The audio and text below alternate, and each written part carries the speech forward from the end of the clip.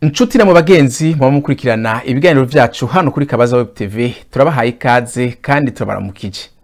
Muri kumwe nanje irere uri nkuru mu kindi kiganiro twabaza. Abarundi mwese murazi neza yuko muri uku kwezi kwandamukiza abariko baritoza mu kibanza c'umukuru w'igihugu baratanguye kwiyamamaza. Ariko muri uku kwezi nyene abarundi batari bake baribuka ababo bahitanywe n'ikiza cabaye mu mwaka w'igihumbi kimwe n'amajana icenda na mirongo indwi na kabiri. Kuri uyu munsi rero mu kiganiro twabaza turi kumwe n'umushingantahe ndorimana leonard asanzwe ari coordinateur internationale wa collectif 72 reka tumuhe ikaze kugira ngo dushobore kuganira nawe. Mushinga ntahe e, ndorimana leonard? Turabaha ikaze kandi turabaramukije.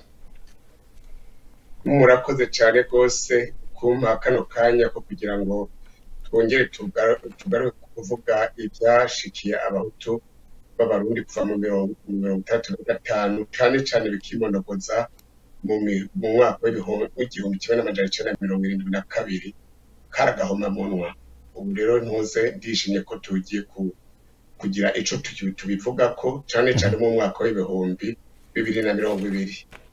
Yego cyane ni byo ubu turi mu mwaka w'ibihumbi bibiri na mirongo ibiri. Ibyabaye byarabaye haciye imyaka mirongo ine n'umunani. Mwebwe mubiha insiguro yihe kubona gushika uyu munsi ata kintu na kimwe kiraja habona ngo abakoze ayo mabi baboneke bamenyekane kandi n'ibyabaye bimenyekane uko byagenze dusuba inyuma gatoya ndashaka kwibutsa ko collectif international de victimes survivants ba jenoside yakorewe abatutsi mu mirongo irindwi na kabiri ari muvema yaturutse muri canada yatanguye umwaka w'ibihumbi na cumi na kane. Tukaba twujuje imyaka itandatu dusaba yuko ubutegetsi buri bujumbura bworokoreseye jenoside yabaye kubera ko ari agahamanwa tubitwatangura twabitanguye tuzi ko ari indoto. Ariko nyuma y'imyaka itandatu uyu munsi mu burundi isi yose iri kwiraraba ibyo twavugira mu matamatama gusa. Noneho amagufa y'abahutu akaba ariko arazukurwa hirya no hino cyane cyane nka fose komine zabonekeye ku ruvubu mashitsi no n'izindi ziri muri univerisite y'uburundi uwo munsi na zo zitegerejwe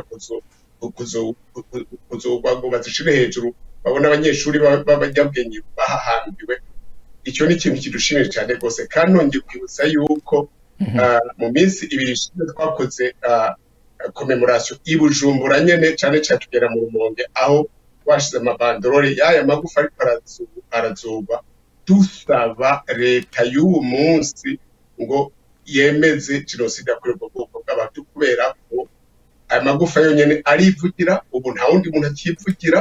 Amagufa yonyine arivugira kandi amakungu yose arahari. Ubu nta kinyoma kikirimo severi kirakora akazi gakomeye cyane mu kwerekana ibyo byose. Cyane cyane ikituraje inshinga uwo munsi. Ni ibivuriro ari byo bivuze fose komine iri muri universite y'ubujumbura severi yamaze kudoma ku rutoki ubu rero turabona yuko twarasemereye. Dutanga ikirego muri nations unies dutanga ikirego muri union européenne dutanga ikirego muri ntuze ntuze muri maserivisi ya droit de l'homme ari muri geneve abo bose twaramaze kubandikira ubu noneho two tuje gukomanga ku muryango wa guverinoma y'i burundi kugira ngo asese ase reconnaissance y'abahutu bishwe muri sanduze yemezwe. Kandi abayikoze. Ahari ibyabona birahari biri bwavuga ku maradiyo no ku mateleviziyo ubu nta kintu na kimwe kicyongera kunyegezwa na gatoya ego muravuze neza yuko amagufa ariko arazugwa. Ariko rero hariho ibibazo byinshi bijanye n'igikorwa severi iriko irakora.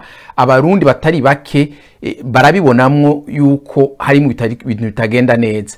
Mwavuze yuko nivyo amagufa ariko arazugwa. Kandi sa y'umwaka umwe w'igihumbi kimwe n'amajana icenda mirongo mirongo igihumbi n'amajana icenda mirongo indwi na kabiri gusa. N'imyaka y'inyuma yaho ayo magufa ariko arazugwa.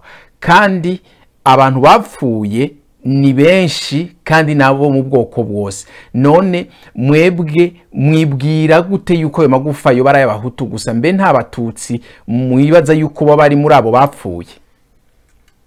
Aho ndakohereje umuvandimwe ama- amagufa yose ariko arazurwa nta gufa n'imwe ry'umututsi ririmwo kubera ko aho bayazura naba- naba- babutse ababo ba- babaye ibyabo nabo bahamba aho hantu ariko barabyivugira bagenda kuyazura aho ibyabo bababwiye ngo genda mugire hajya murasanga bene wacu bahapfiriye.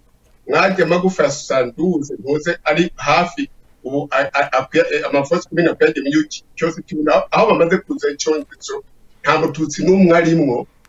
N'amagufa bazu- babazura bagasanga.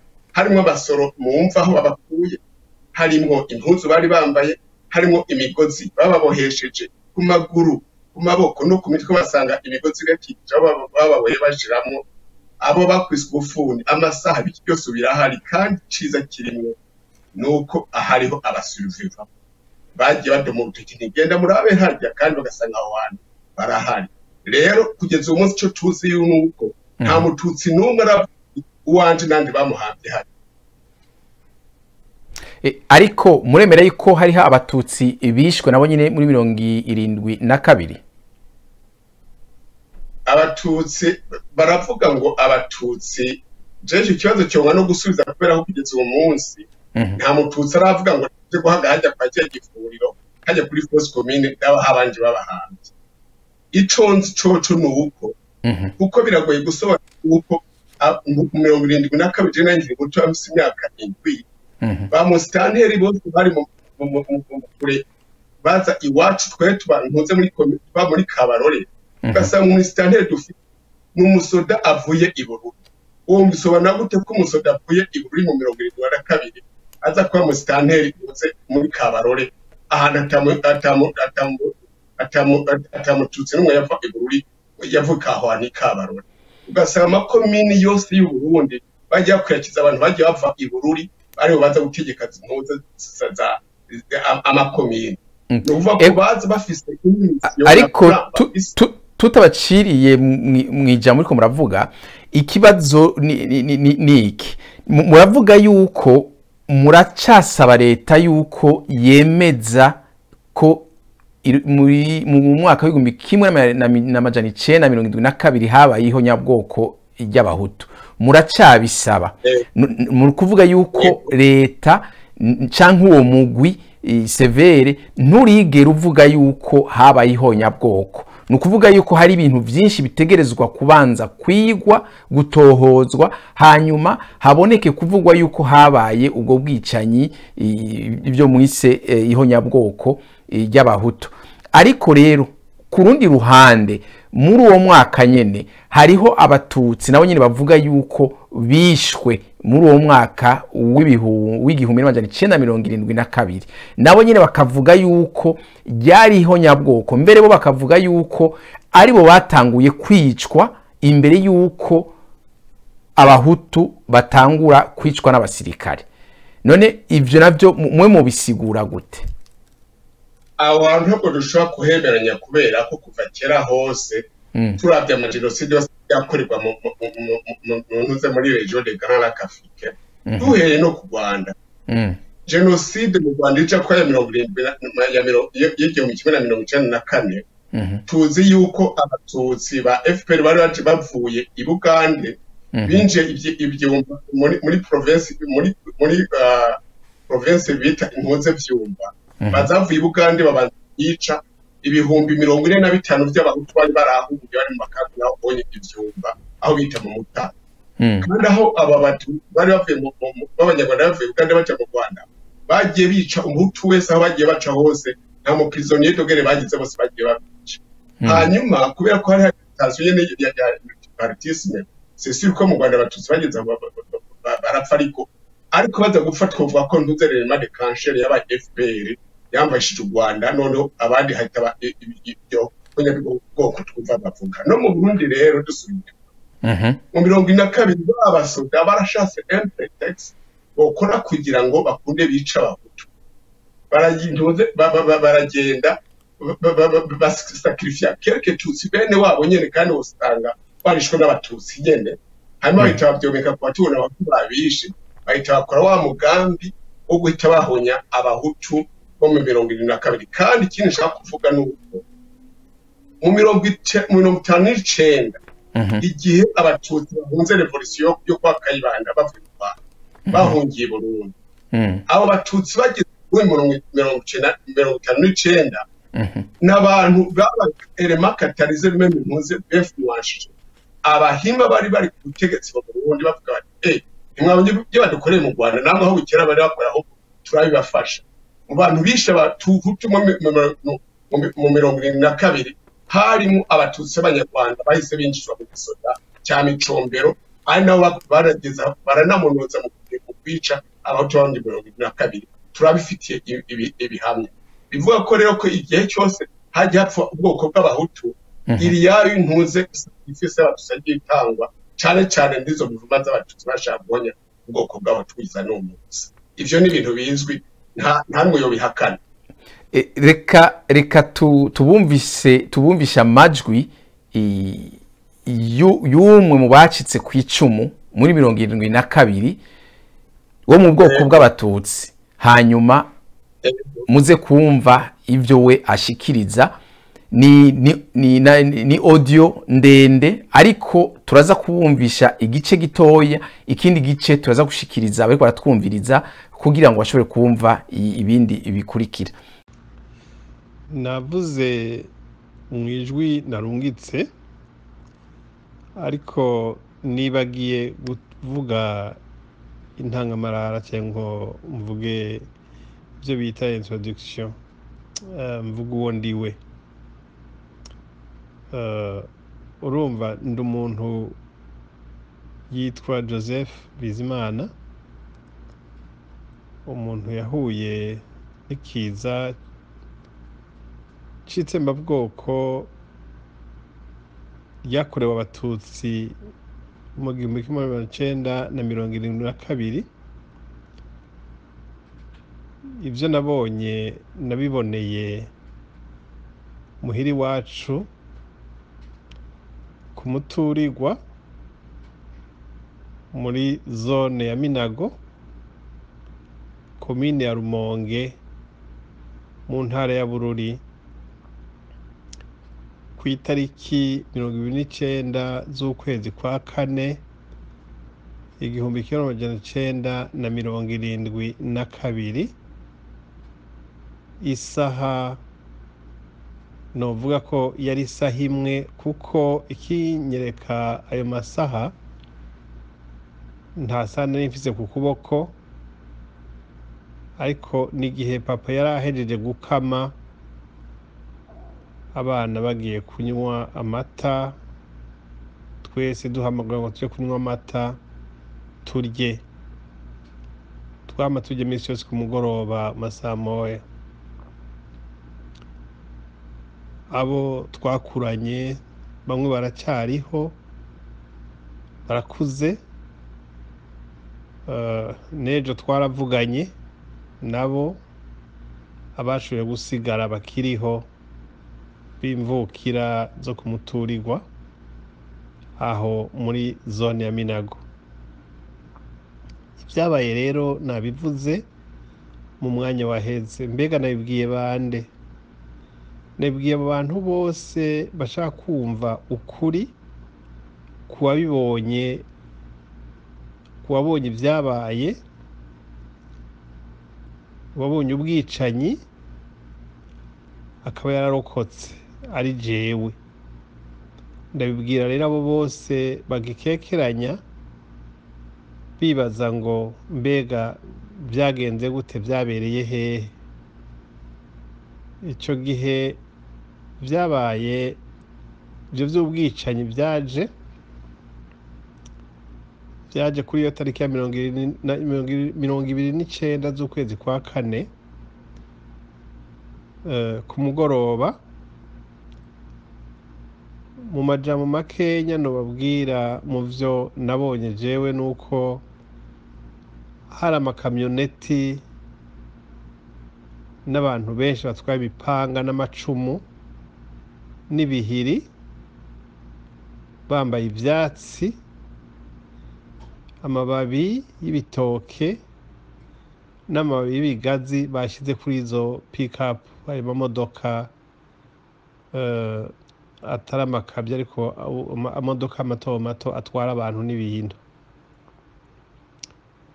Abantu rero ni ho baza kwica iwacu. Bariko batanguye kwica ku muntu yitwa nagare bica mushiki we na mwishwa we bahaba.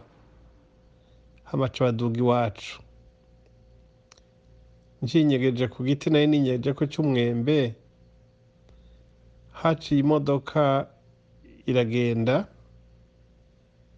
Eh, iyo modoka yagenda iravuza umuziki usanzwe hanyuma barayihagarika barayihagarikiye ahantu ku ibarabara ryajya ku mushinga ntayo yitwa mariko.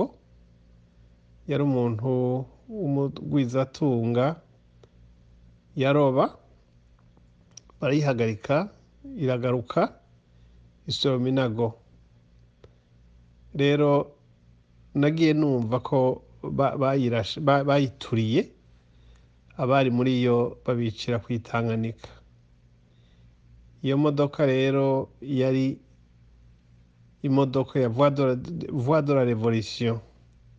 imodoka yari mu iradiyo y'u Burundi yari ivuye mu rumonge. Rero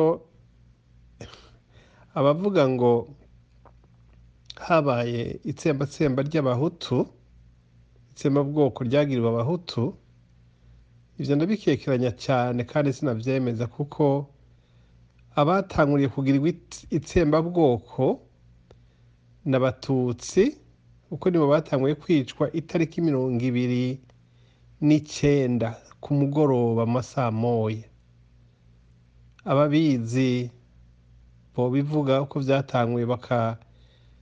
ba- batumbera ingo z'abatutsi bajya kwica umuntu wese basanzeyo nta n'umwe yasigara. Ivyo vy'uko ngo abahutu barapfuye sindabihakana sindavyemeza. Ariko ico nzi ni uko abatutsi rero batanguye gupfa uhereye iwacu n'ahandi mu- gihugu cose za mabanda makamba twabuzeyo bashikacu baguyeyo bene data wacu baguye mu ibururi n'inshuti zose nyinshi zaguye mu bice bitandukanye twari tuzi tuzinanye mu kwa gatanu birashoboka ko ariho baje gutabara kandi iyo abantu baje gutabara naho ataco batabara nta bantu bari basigaye abandi bari barabishe abashoboye guhunga barahunze. Abinyegeje imana yakingiye nk'uku kwanje na- bagiye kuntora mu nyuma kandi na jewe narahaswe kuraswa n'umusirikare ariko ntabagwa n'umupa- n'umupatiri yitwa kameya n'uwundi muntu bari kumwe yitwa muyango nibo bantoye bari mu ivewe bambuza uwo musirikare ko anyica hanyuma baranshira mu modoka yabo baransubiza iyo nababwiye ko mva ko navuye barabona byose bantwara mu rumonge baraca mu gatondo barantwara i bujumbura. Rero ibyo mvuga n'ibyo nabonye n'amaso y'iwanje iyo mpanuro natanze muri iyo odiyo yindi reka tugarukire aho kuko ni ni ni ndende ni ni na, na, ni nama audio abiri y'ibyo yashikirije. Ariko aha ico nashatse ku, kuvuga ni giki? We aravuga nawe ibyo yabonye n'amaso yiwe ibyamubaye ko n'abapfuye mu muryango wiwe. Mwebwe nta- ntabyo mwabonye ariko we yarabibonye. Eh, kandi nashaka Mhm, bitarancika mhm, ngire mvuge ibintu bitatu byerekana ko ibyo yavuze byose mirongo umunani ku ijana ari ibinyoma. Mm. avuze yuko Mhm. ngo yabonye abasoda bagenda ngo umusoda yari agiye kumwica. Kandi icyo gihe ntuze icyo gihe muri mu- abahutu bari bari mu musoda baraharuka ico ni ikinyoma ca nyuma. Cya mbere icya kabiri Mhm. yavuze yuko ngo ubwo bwice bwabereye mu ntuze eh, i bururi. I bururi ahantu u- ubutegetsi bwari buri bwari buri abarongozi ba- bari bari ku butegetsi bari abasoda b'i bururi. Nta kuntu bari kuja kwataka ntuze muri zone. Clay y'abari ku butegetsi b'abatutsi. B'i bururi ngo bari baje kubera jenoside. Ayimpaye teze yerekana yuko ari ya ntuze ari ya sacrifice bakoze kugira ngo babone ukuntu bahita biyarira mu bahutu bari hariya hose ikindi ca gatatu Mhm. abatutsi baka- bakaba barapfuye. Kuva mu mirongo irindwi na kabiri. Mhm. ashoboye kumbwira aho umuntu umututsi yahungiye ikambi yagiyemo igihugu yahungiyemo.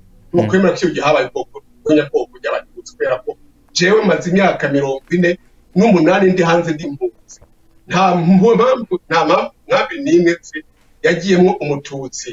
Avuye i burundi haba muri tanzania haba mu rwanda haba no muri congo. Ico ni ikinyoma cyambaye ubusa. Kubesha turabimenye turabizi. Ariko aho ntabwo ashobora kuhabesha. Yongera avuga ngo Mhm. ngo aba ngo yabonye abantu ngo basoda ngo bambaye ibyatsi n'ikibaryenga nta bantu nta basoda bari bari nta bisoda ntiyavuze abasoda yavuze ya- yavuze abantu bari bambaye ivyatsi bafise n'imipanga bari mu mamodoka. Icyo nzi cyo ni uko ntuze izo modoka zaba zavuye ku icyo gihe ati abahutu bari bafise imodoka. Aho ari abenshi mu mirongo irindwi na kabiri nta mutu n'umwe yari afise imodoka.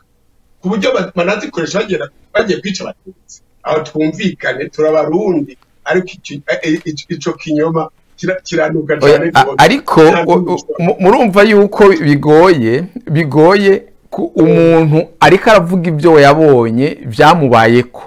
Si ibintu ariko aravuga yumvise ni ibintu wenyine ubwiwe yabonye. Kandi abantu avuga amazina barabayeho. E, n'abapfuye arabazi.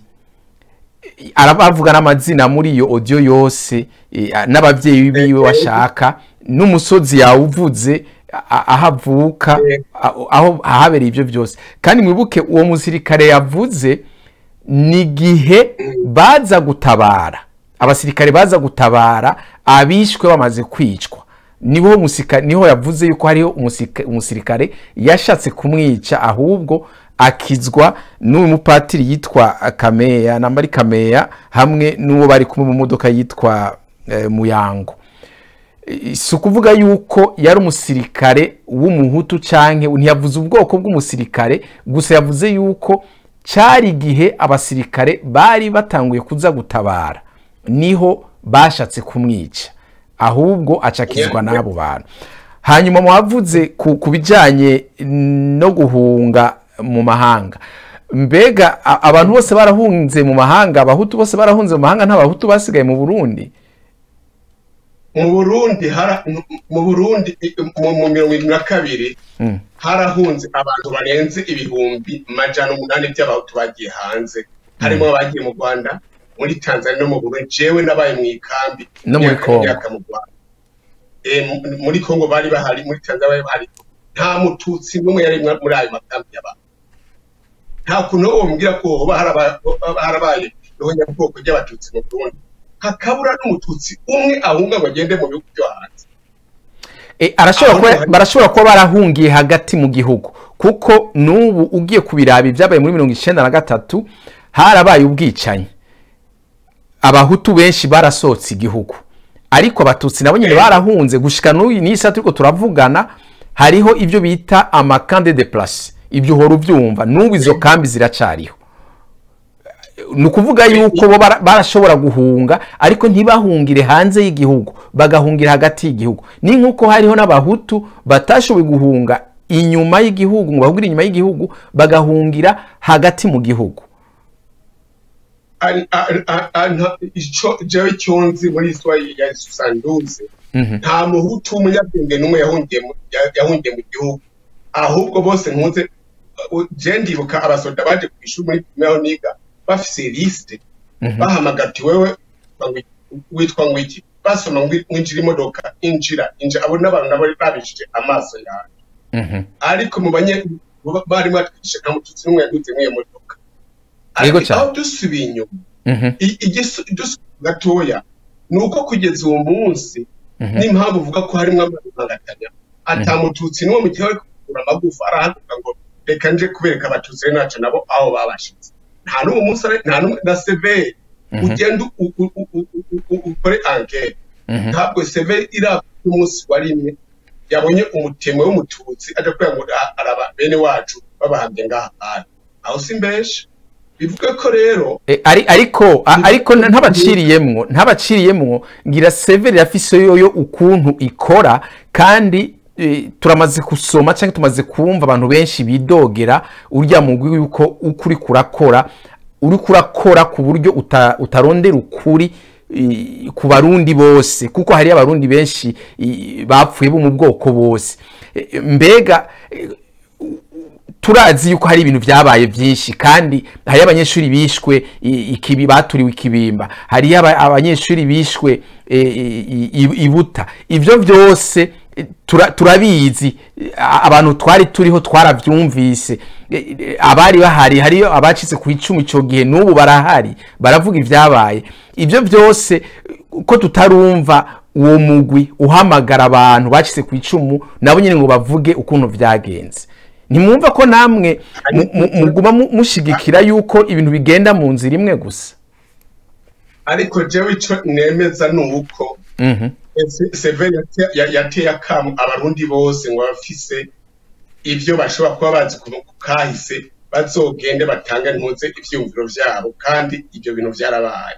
Kugeza sinzi uko ikora ariko ico nzi cyo nuko n'iryo tangazo nari narisomye kugeza uwo munsi mhm, umugwi wa mu Burundi mhm, utari bwahaguruka ngo ngo nimuze tubajane aho abacu b'abahanzi.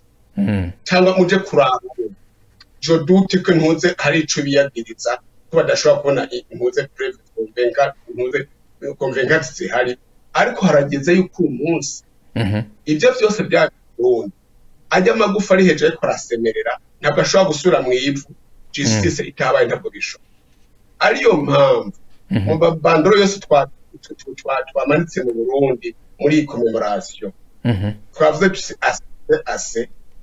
Ubu twaratanze igitego muri zibikira ikirego muri nation zibikiragerayo mhm, muri européenne kiragerayo. Tugisana muri- ntuze no muri muri union africaine turabiragerayo ubu guverinoma y'i Burundi Mhm. abahutu barapfuye abatutsi barapfuye bagomba kurukonesa jenoside y'uko y'ubwicanyi bwagiye mu Burundi kugira ngo habe la vraie réconciliation. Mhm. abakoze ayo marurembo babafate babacire urubanza hanyuma amagufa yagiye hanze baya- bayahambe ba- baje kuyasezera mu iteka rya- ry'abarundi nk'uko monsenyeri nta mwana nta mwana yavuze ati ibi mbonye. Mhm, yara- yagiye kugifura aho bari ngo ibi ni ho nyabwoko ryabaye. Nk'uko perezida wa ntuze wa sena yavuze ngo aya magufa nta kuyata gutya gusa agomba kuja ahantu bazokubaka ibirori abantu bakaza barabavuga ati aba n'abacu bagiye bapfa. Kugira ngo n'umwana azovuga azomenye akabi kabaye i Burundi kugira ngo ntikaze kongere kagaruke n'umunsi wa rimwe aho ni ho collectif ihagarariye ivuga iti ni mu reconnaisse genocide nta nimwe ni plus. Ariko Hanyuma kugira i- ngo i- iyo abarundi reconnaissance iyo reconnaissance iyo reconnaissance muvuga niyo dushaka kumenya. Kuko abarundi twese turazi yuko hari abapfuye kandi mu bwoko bwose. None iyo reconnaissance yoba ariyo y'abantu bapfuye ku bwoko bumwe gusa canke ari reconnaissance y'abapfuye mu moko yose.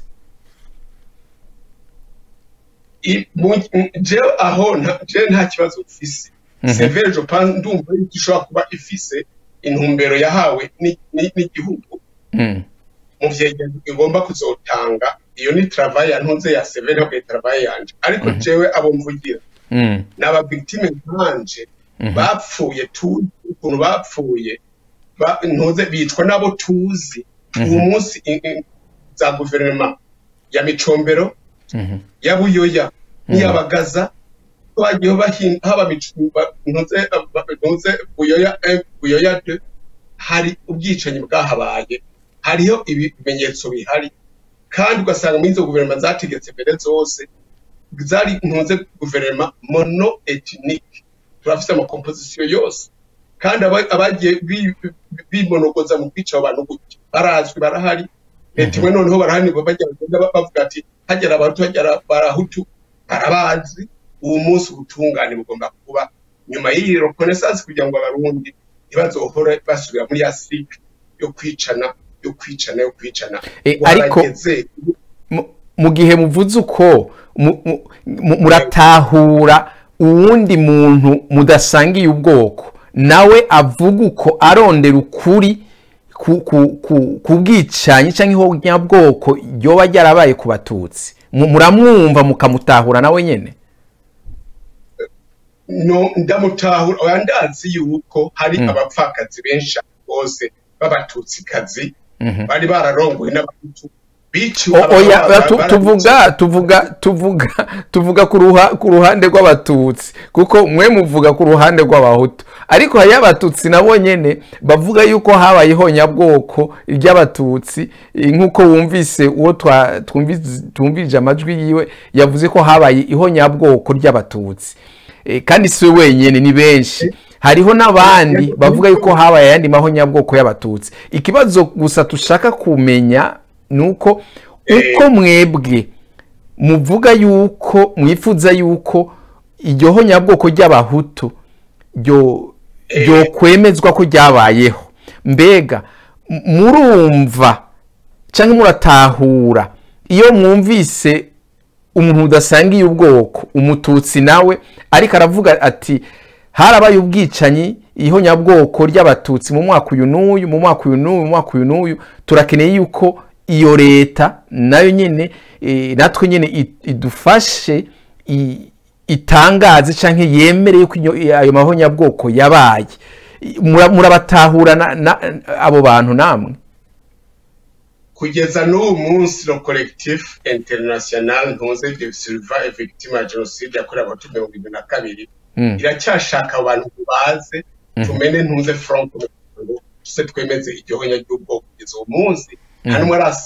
Ara- ara- araseruka hari ngo aze dufate rero natwe twese hamwe tuzogende kwaka iyo reconnaissance. Birababaje kubona abantu biciwe n'uwo munsi. Mhm. mu gihe amagufa arazuba atamunwa ariko arashuka hejuru wasabe leta y'u Burundi natwe twariciwe. Mm. nimugire irokonesa nta tuzi mwazo rwego dukorere reconnaissance y'aba- y'abatutsi bapfuye. Jewe ku isaha tuvuganira nta mututsi n'umwe nta namwe ndasoma rwego ndasaba reconnaissance y'abatutsi bacu bapfuye. Ico kintu ni cyo kiriko kirantangaza cyane kandi n'uwo munsi muri 2000 muze 2000 kuva muri 2015 kugeza uwo munsi. Mm. abo batutsi baza bahungira hano muri za canada baza bavuga ngo hari jenoside ntuze wakorewe mu burundi. Ngo ni mu- ni- ni muduhe ibyangombwa ugasanga rero abo bantu uko umunsi mukuru ugeze noheli na bona ntibibere i bujumbura eh, inzu zabo zirapanze neza bisesi bikora ko hariya. Bakorera na veto bahunze ubwicanyi mu burundi. Ibyo rero birambabaza cyane ko nk'umuntu aza kujya kuminimiza jenoside y'ahutu yakozwe gutyo ari ari uko akayi- akayitwaza akitwaza nawe ngo ni time aje kwishakira ibyangombwa mwa bino bihugu bya amerika na canada. Mm. ico kintu ico kintu kibabaje cyane. Hanyuma ugasanga aho kwe- kwemera aho kuvuga ngo reka turabire hamwe ikintu cotuma uburundi bwacu bugira stabilite ha- amaraso atonye kumeneka. Ugasanga bariko bashiramwo ayandi maremantanya atuma ahubwo na kozi itagira itazopfa yarumvikana. Ariyo mpamvu le collectif international de survivants victimes de génocide yakorewe abahutu mu Burundi, ACCAC 2020 imyaka miro- mi- ntuze mirongo ine n'umunani iraheze. Ubu ntabwo dushobora kuzokomeza kubakira ku kinyoma gusa.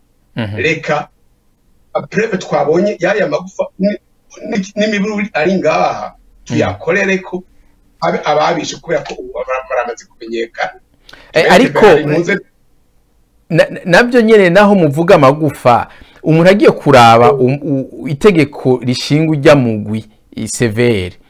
Riravuga neza yuko ujya mugwi ushobora gusaba abahinga kugira ngo bashobore kuwufasha mu bijyanye n'igikorwa cyabo cyawo cy'amatohoza. E, mwebwe muba mu gihugu giteye imbere muri muri canada. Murazi ibintu by'amatohoza ukuntu bigenda. E, murashobora kuba mutabyize ariko muramaze kubisoma cyangwa mumaze kubyumva. Hariho ibintu byo kumenya ati amagufa aya aya n'aya ashobora kuba yarahambwe haciye imyaka ingana uku n'uku amagufa aya n'aya ashobora kuba yarahambwe eh, haciye imyaka ingana uku n'uku I- ivyo ni kubera iki batarondera abahinga bo bafasha? Ariko bakaja mu bantu gusa bumviriza ibyo bantu bavuga kandi tuzi yuko abarundi tugifise ka gatima ko kwikwegerako. Hariho aba- abahutu batemera yuko abatutsi bapfuye canke bishwe. E, hariyo abatutsi batemera yuko abahutu bishwe. Ni ukuvuga yuko bagiye kubaza abo bahutu naho boja kwereka ahahambwa abatutsi. Eh, severe izo izogenda izura ayo magufa kandi bazovuga yuko ari amagufa y'abahutu.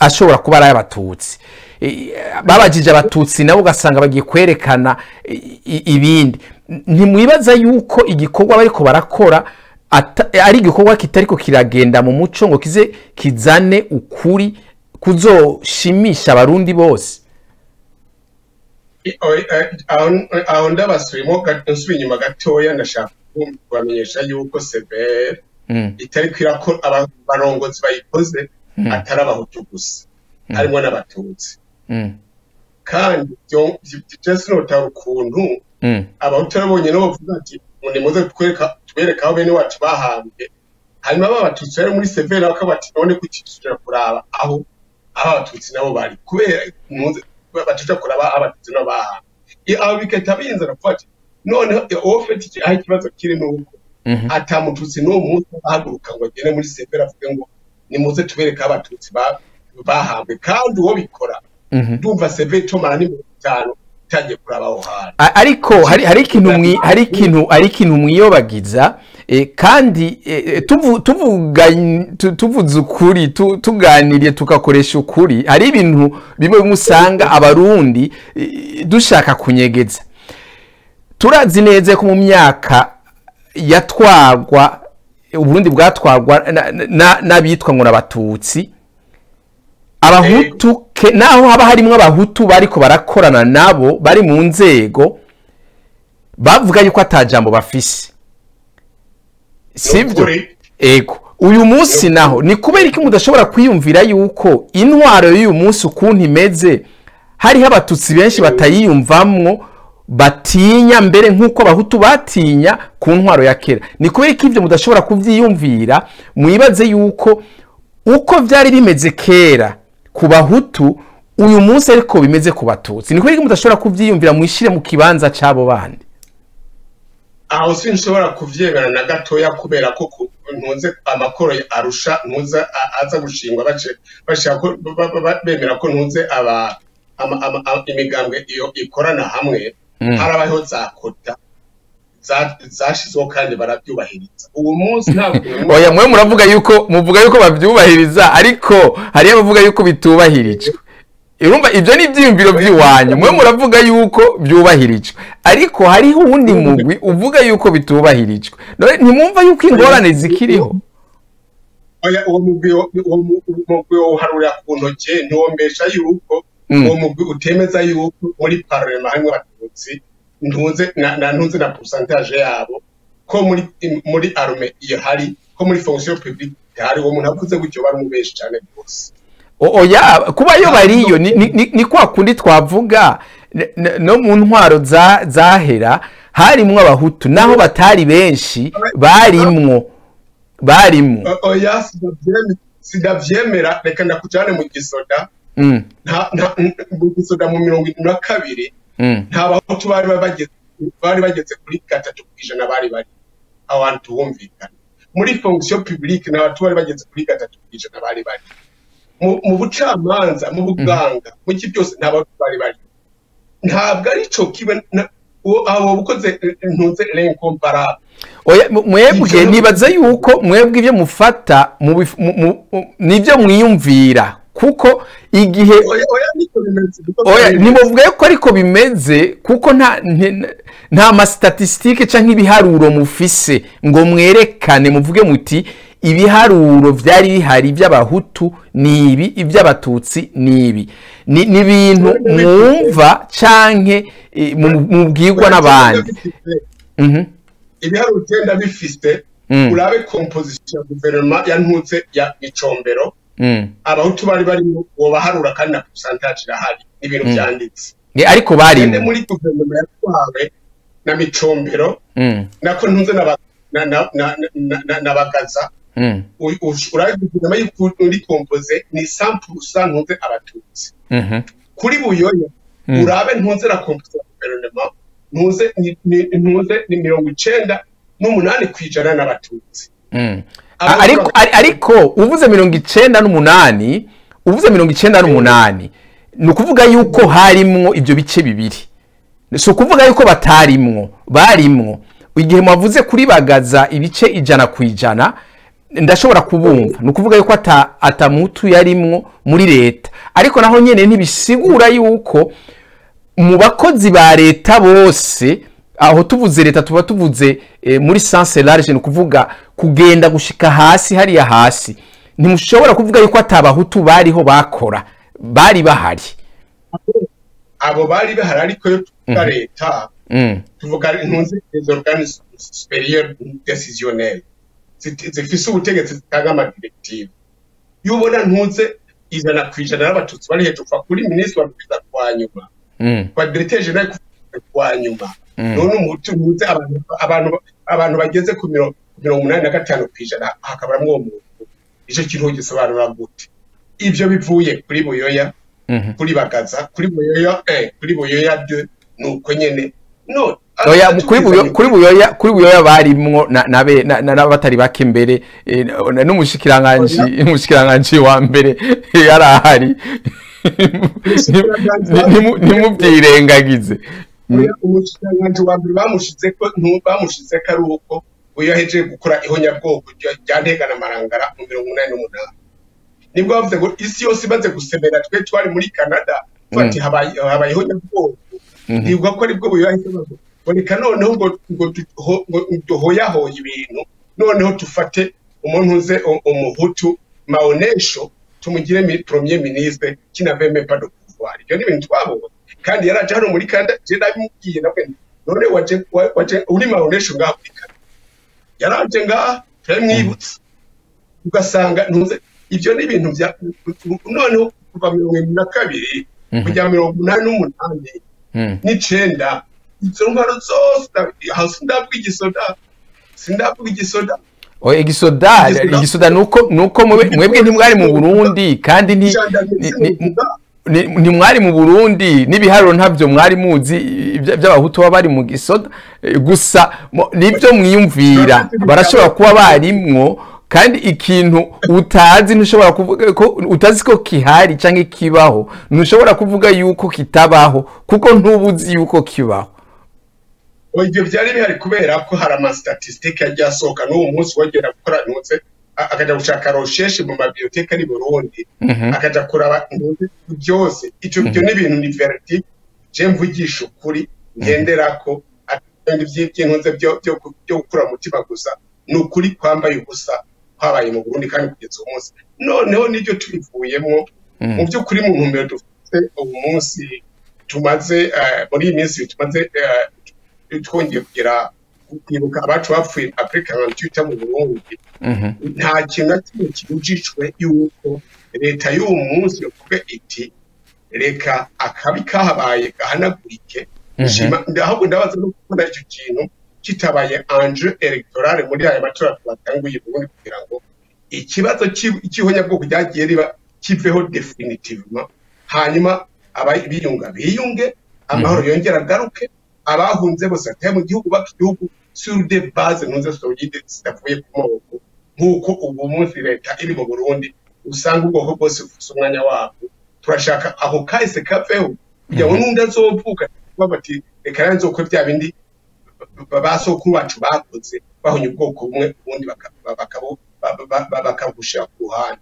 Nico kintu collectif iriko raka uwo munsi kugira ngo ico ntuze ako kabi nikaze kongere kabe abarundi bose babe umwe bubaka igihugu kimwe amajambo ntuze tugiye twimirije a- agiye kuzogenda ntuze apati ya 2020 ivyo bintu vyibagiranwe nico cifuzo dufise kugeza uwo munsi. Ah, ni ukurondera ukuri kuri bose atari gusa eh, ku bahutu ariko kuri bose. Eh, ukuri kuri bose.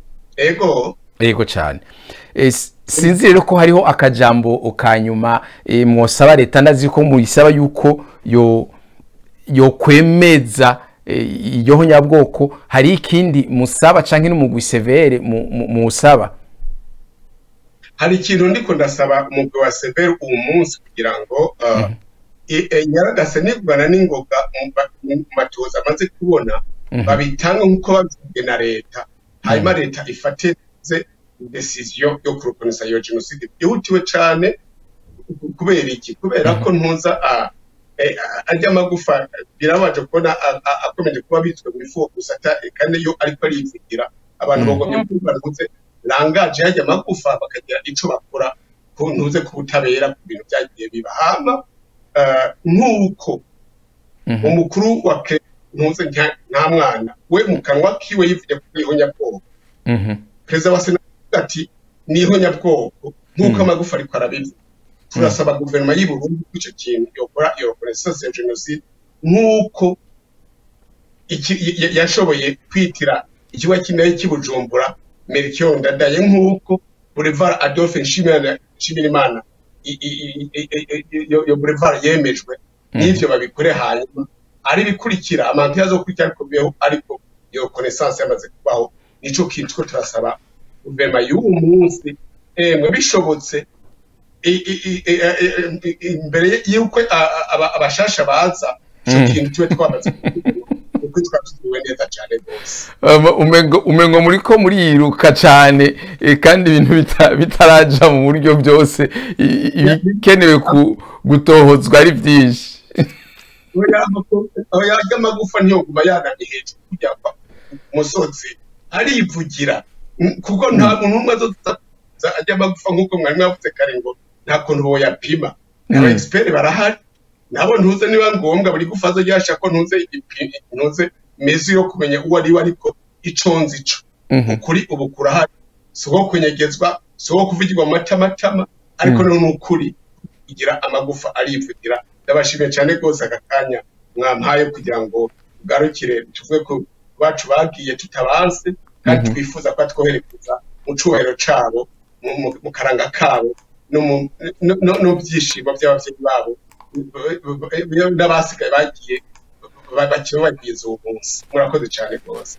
Ahubwo nitwe tubashimiye kubona mwasubiye kuduha akanya kugira ngo tuganire eh, kuri iki kibazo gikomeye mbere kiraje ishinga abarundi batari bake mbere ku mpande zose haba aba- abahutu canke abatutsi. Ndagushimiye kandi eh, ndorimana leonard. Murakoze cyane gusa je ndabashimiye Ego cyane. Inshuti no mu bagenzi rero mwakurikiranye ikiganiro turabashimiye. Ariko rero reka eh, tubasige hano mukurikirana amajwi eh, y'umushinga ntahe Joseph Bizimana eh, nawe asigura ukuntu yacitse ku icumu mu mwaka w'igihumbi kimwe n'amajana icenda na mirongo irindwi na kabiri itariki mirongo ibiri n'icenda ndamukiza. Mwiriwe neza avukanyi mwiriwe neza mwese abashobora kumviriza uh, iyi audio canke iri jwi ndiko ndashyira ahabona. Uno munsi ni itariki mirongo ibiri n'icenda z'ukwezi kwa kane ibihumbi bibiri na mirongo ibiri. Haraheze imyaka myinshi iyi tariki yibukwa na bamwe abandi bakihorera ukamenya nta cyabaye. Ariko abandi bakabyibuka bari ukwabo bihishije umenga hari icyaha cyakozwe. Ndavyibuka iki gihe aya masaha nyene mu minota mirongo itatu ishize eh, ndavyibuka neza ko habaye ubwicanyi itsembatsemba n'itsembabwoko mu gihugu c'u Burundi ikiza catwaye umuryango wanje abo tuvukana n'abavyeyi n'abana ba mukuru wanje babiri ndibuka batema baterera mu muriro w'inzu iriko irasha abavyeyi babicira imbere y'inzu nanje nahunze ndi ahantu batambona iki ni igihe co kwibuka si igihe c'ukwihora si igihe c'ukwihorera kuko ntushobora kwihora abantu utabona kubera yuko uwakoze ico caha yaragikoze atuma abagikora wewe ari arihisha yigira sindabibazwa arahunga canke bamwe bashobora kuba barafashwe baricwa. Ivyo aho babafata bakabica sinabibona sinashobora kubishingira intahe. Ariko iyo ico ciyumviro co kumara abantu ataco bazira b'inzirakarengane cyarakomeje kirakomeza kuva irindwi na kabiri inani n'umunani icenda na gatatu n'uyu munsi kikomeza nta nkeka yuko abari ku butegetsi ubu n'abahozeho imbere yabo hariho ico bazinanyimwo bazi bakingiraniramwo ikibaba. Sinodeha kuvuga yuko abatwara iki gihe ari bakoresheje iyo mvugo nyene yo kumara ubwoko aho basobanura abana mu mashuri bakica bakubera ubwoko bwabo nk'uko babigira irindwi na kabiri nyene aho baza bakinjira mu mazu y'abatutsi bakabica bagenda bakuzako bakuzako. Rero ico ciyumviro kiracariho kandi ni iciyumviro gikwiye kuranduranwa n'imizi kuvuga ngo ntitukavyibuke ngo ntibigasubire kuvugwa umuntu abivuga gutyo yoba nawe ari asangiye umugambi n'abo babivuga n'abo babikoze mumbabarire rero iki ni igihe cyo kwibuka iyi tariki nyene uyu munsi aho abantu isi y'inzi batikiye hanyuma hakajamwo hagasubiramwo ibintu vy'ukwihora kugeza n'uyu munsi arivyo bikiriko biraba. Ariko simvuga ko ari ukwihora kubera yuko wihora gukoreye ikibi.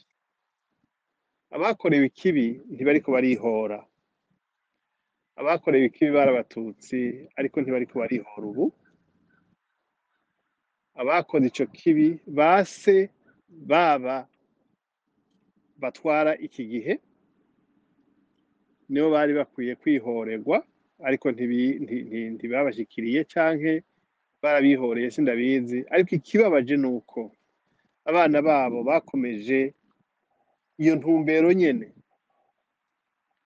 Aho bogarutse bati rero ko twashikira ubutegetsi reka dutwarire bose ico twarondera twakironse niba bashaka ubutegetsi. Ariko ku bwanje ku giti canje sinibaza ko ari ubutegetsi bashaka kubera yuko ushaka ubutegetsi ntajya kwica abantu b'inzirakarengane. Ushaka ubutegetsi ajya mu bategetsi nyene akaba ari bo bahangana. Hanyuma akabushikira ari uko yabanesheje. Ntujya mu banyagihugu muri bene igihugu. Ujya mu bafise ubwo butegetsi nyene ujya mu nguvu zabo arico gisirikare n'igipolisi. Ntujya mu banyagihugu ngo uje kurigita. Rero uyu munsi jewe ndavyibuka kuko narabibonye narakize ndacyariho abagenzi twakuranye baracariho baracavyibuka bamwe bamwe.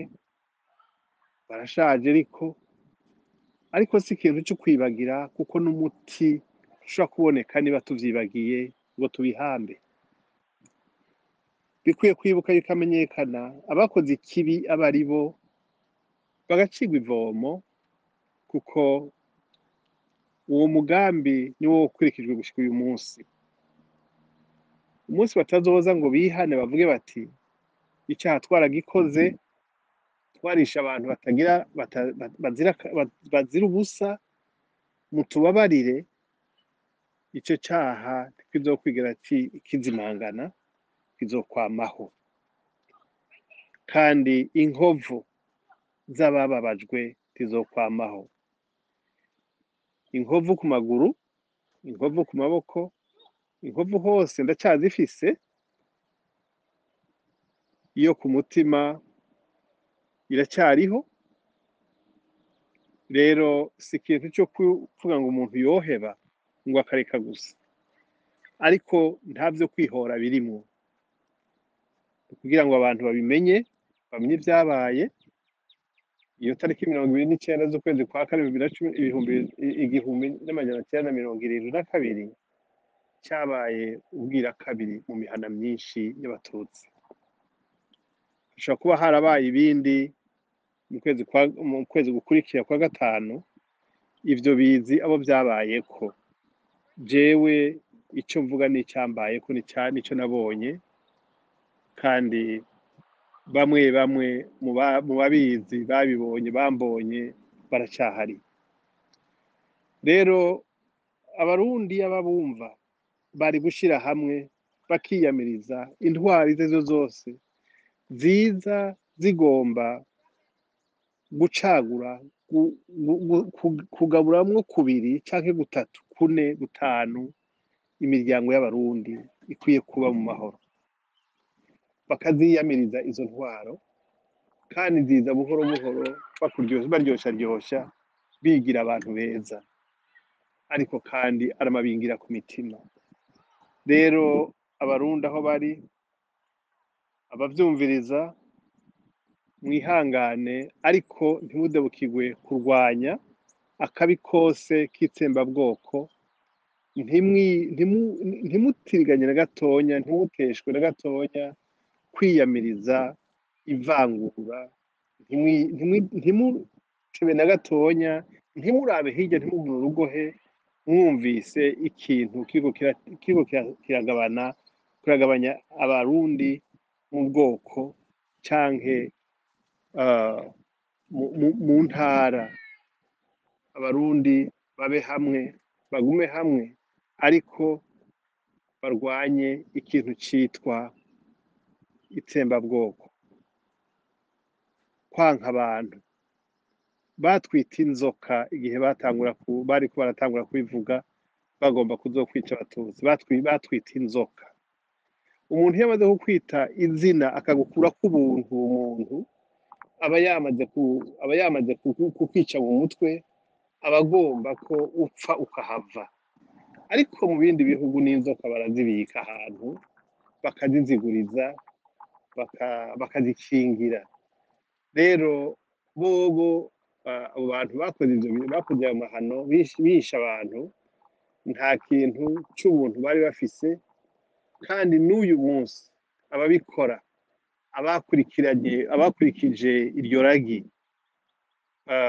nta buntu bafise n'ibikoko vyo mw'ishamba na jewe naho nkurikije amajambo bavuga imana imbabarire siniko ndabivuga gutuka abantu bose ndiko mvuga ntuka abo bantu bafise uwo mutima kugaburamwo abantu mw'imice babita amazina kugira ngo baba- babamare. Rero uyu munsi ni umunsi tuwibuka eh, iyo ico kiza cabaye kandi mutaravye neza kirakomeza. Iyo bavuze ngo tuzokwica kamwe kamwe kamwe kamwe iyo umuntu amaze imyaka myinshi ama- amara abantu batari bakenya. Kandi mwarabibonye uko vyagenze muri iyi minsi iherutse mu myaka mikenya eh, aho bica abasore n'inkumi bagasambanya abakobwa imbere ya ba se na ba nyina bakaca babica. Ivyo ni ibintu muzi mwabonye muri za nyakabiga za mutakura n'ahandi muri za eh, za musaga n'ibice binini vyinshi vy'uburundi ayo n'amakuru yazadushikira. Rero abarundi muve muri ivyo bintu mushire hamwe kugira ngo ico kiza iyo nzikira ihave. Ariko habe kwihangana habe kwihanganiranira umuntu wese aryoherwe u- ubwoko bwiwe. Anezerwe ko yitwa umuhutu umuntu anezerwe ko yitwa umututsi unezerwe u- uwundi yitwa umu- umutwa anezerwe ko ari umutwa ariko tubwire uburenganzira twese ata muntu n'umwe arenganya uwundi. Ibisuma vyiba kandi nta kindi barwanira atari kuja ku butegetsi ngo bibe ama- amatagisi y'abantu amakori y'abantu. Iraba namwe. Abantu bafise amazu manini gusumba n'ay'i Burayi ngira ngo canke eh, ya hehe ariho bakija muri ako kazi.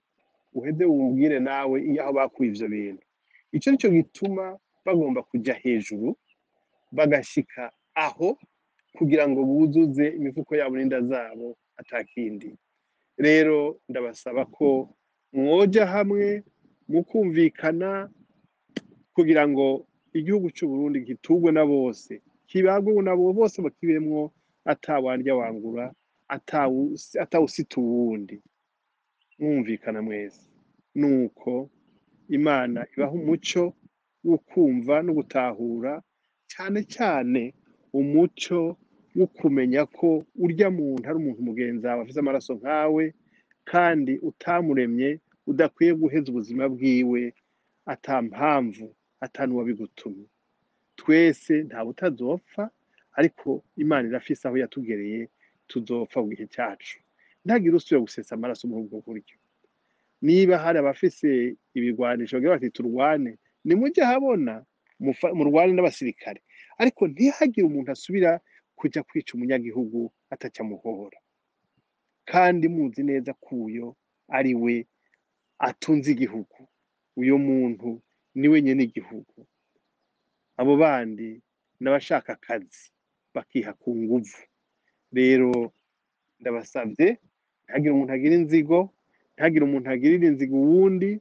Reka tubane amahoro reka abarundi babane amahoro ariko abakoze ikibi bumvirizwe bashyirwe imbere y'urubanza bose mu bwoko bwose bashyirwe imbere y'urubanza hanyuma eh, amahoro azoboneke mu gihugu. Nuko mugire umunsi mwiza imana ibahezagire aho bwamaze kwira.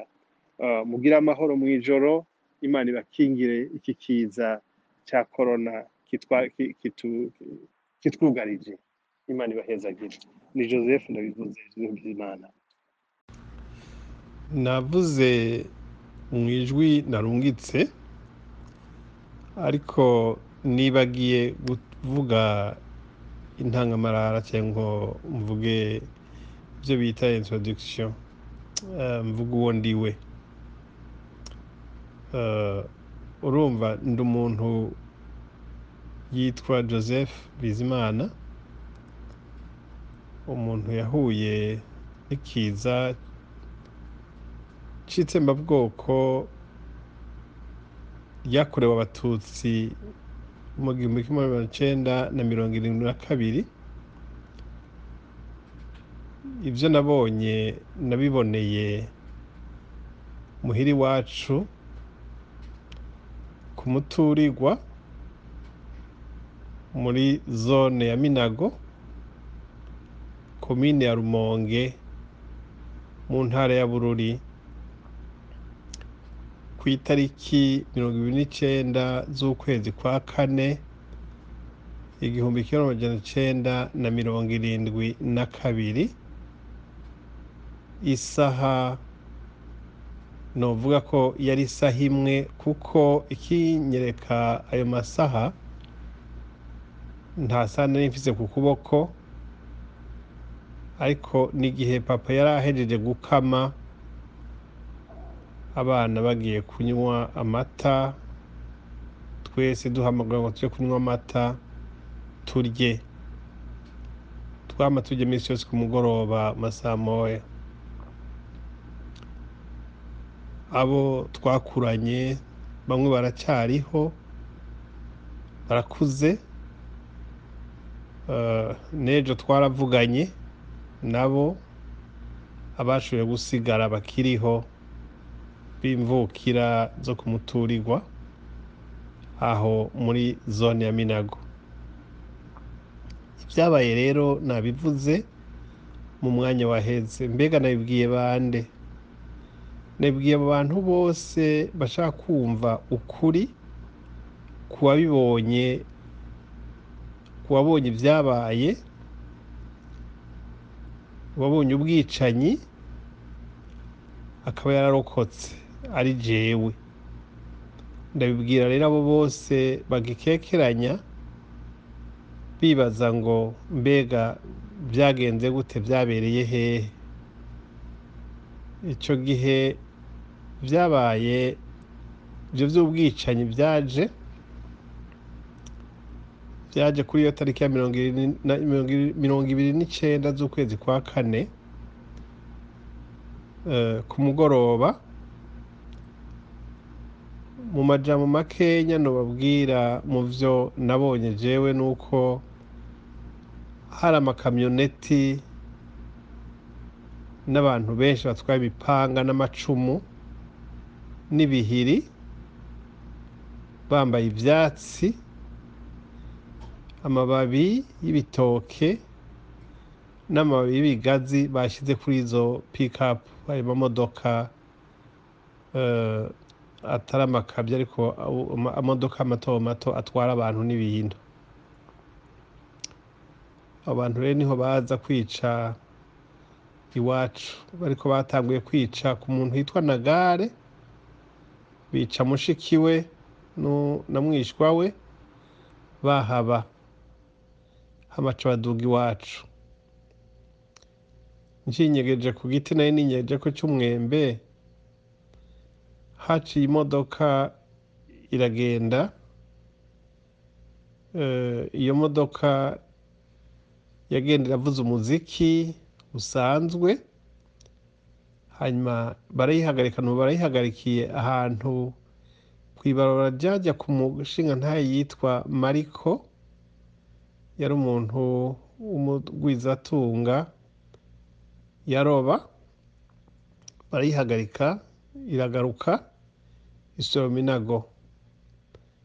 Rero nagiye numva ko bayituriye abari muri yo babicira ku itanganika iyo modoka rero yari imodoka ya voix de la- imodoka yari mu iradiyo y'u Burundi yari ivuye mu rumonge.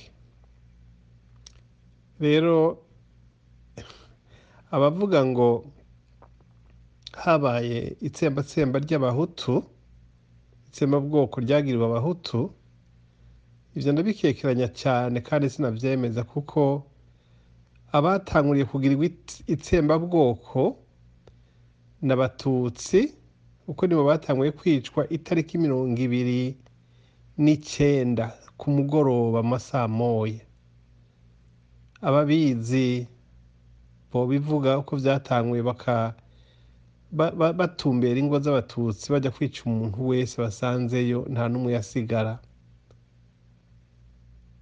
Ibyo by'uko ngo abahutu barapfuye